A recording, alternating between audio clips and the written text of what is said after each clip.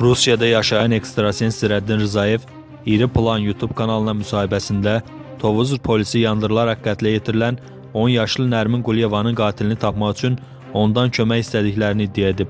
Yeni Sabah xəbər verir ki, bununla bağlı Daxili İşlər Nazirliyinin mətbuat xidmətinin rəisi polis polkovniki Ehsan Zahidov bildirib ki, cinayətkarı tapmaq üçün polis Zirəddindən niyə kömək istəməlidir ki? Polislər baş verən hər hansı bir cinayətin açılması üçün əməliyyat axtarış tədbirləri həyata keçirilir. Həmin əməliyyat axtarış tədbirləri nəticəsində də bu cinayətin üstü açıldı. Cinayəti törətmə törətməkdə şübhəli bilinən şəxs saxlanılıb.